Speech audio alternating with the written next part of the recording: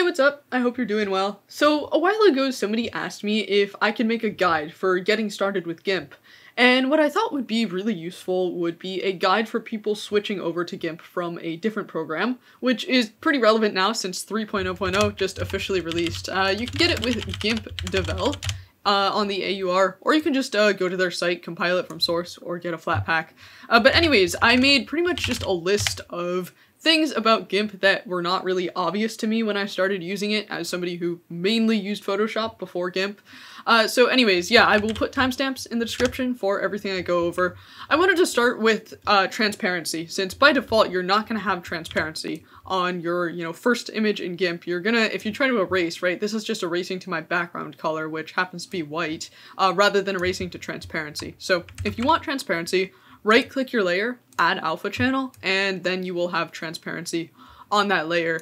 And the reason for this is by default you have RGB channels, uh, which is three channels, and then alpha is a fourth channel. Um, and when you add that, you're going to get a bigger file size because you're adding an extra channel. So GIMP is essentially trying to save you file space by default.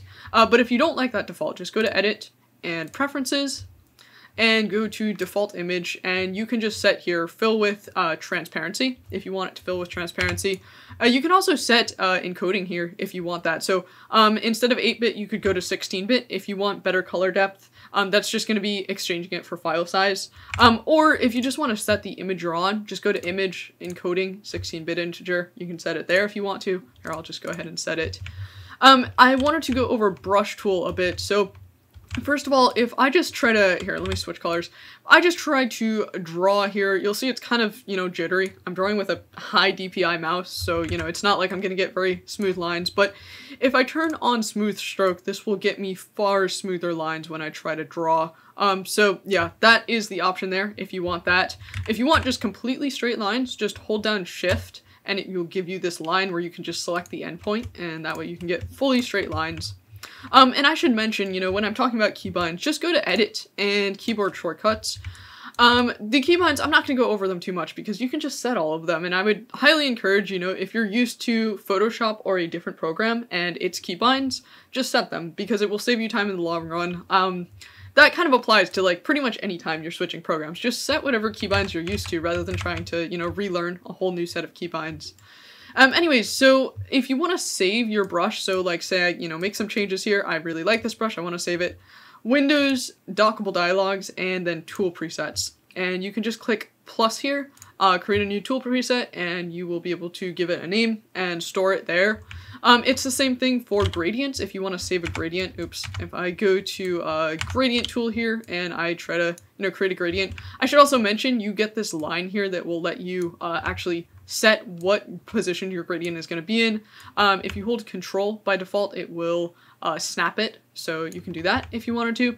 Anyways, if you want to save a gradient or create a new one, Windows Dockable Dialogues and Gradients, and you can just do the plus button here, create a new gradient, right click to set your endpoint colors or add new points, etc. Um, so yeah, that's gradients. And anytime you're missing a window or you need something, just go to Windows Dockable Dialogues. If you like lose your layers, that's where that is, etc. Um, I'll go over Windows a bit more uh, later, but anyways, I wanted to talk about the transform versus move tools. I actually uh, brought in an image, mostly just to flex the image because this woodpecker is looking awesome. Um, I got him the other day. pretty cool guy. Anyways, so move versus transform. So move tool by default is going to let you select different layers. So move tool is here. Um, by default, it's just V uh, but change the keybinds if you want to. And you can actually select different layers than the one you're on, so I can select this layer or this layer, etc. Uh, whereas the Unified Transform tool, which by default is Shift-T, um, is going to actually be for transforming. So if you're used to Photoshop's Move tool, I would suggest, you know, just set your Move tool to Unified Transform. Um, you can't select layers underneath with it, so you'd have to actually go to your layer menu to select it. Uh, but yeah, that is the difference between those two tools. I kind of wish the Unified Transform had the ability to actually essentially just work like Photoshop's move tool, uh, but it is what it is. Um, you can just scale, you can uh, shear if you want to, you can rotate on the side, you can hold shift and warp there.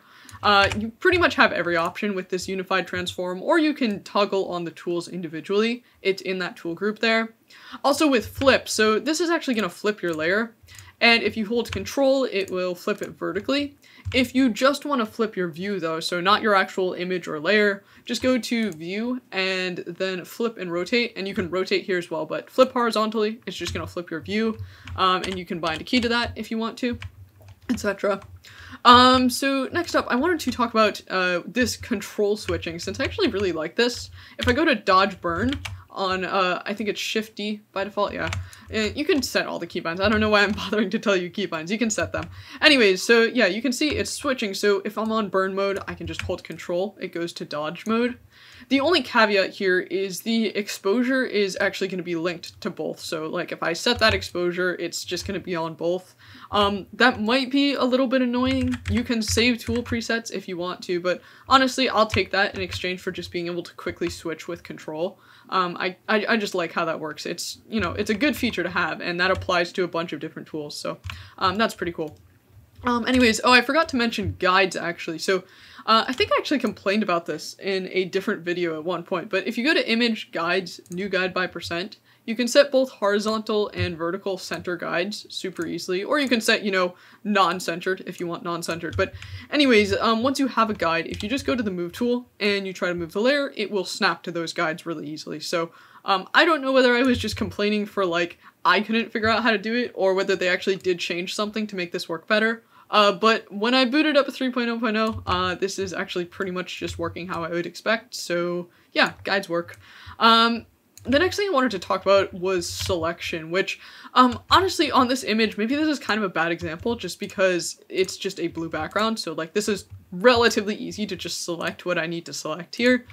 Um, I can get away with GIMP selection most of the time. In my opinion, it is not as good as Photoshop. It just isn't. Um, it's made improvements over the years, but if you're gonna be doing, you know, really complex selections, you're probably still gonna need to boot up Photoshop from time to time. Um, there are other tools. There's a select by color. You have your lasso, um, free select, sorry. You've got scissors, foreground select, and then you've got your marquees as well. Um, if you're just doing, you know, basic selection, so like on an image like this where it's just, you know, a blue background, this is pretty easy for it to just work. Um, but yeah, if you're trying to deal with something more complex, you might have to boot up Photoshop. Uh, that's my opinion on selection, but anyways, um, I wanted to actually just go back to the windows and talk about the single window mode option here. Since this is kind of the, I guess the main attraction of GIMP, maybe. Uh, I, I like this. If you uncheck this, everything pops out and you can move to other monitors if you want to, which if you then want to make your image full screen is really nice because that way you're not going to have, you know, tool menu like sitting there on the side annoying you. Um, but you can still have it on a separate monitor if you want it. So I can move it over and actually when you do that, if you go to edit and then preferences and window management, you can just check uh, open windows on the same monitor they were open before. If you want to just have your, you know, tools menu always on a different monitor or something like that. Uh, you can reset window positions, save window positions, save them on exit. Uh, you can also do the same thing for tool options. You can save them or reset them if you wanted to, or save them on exit.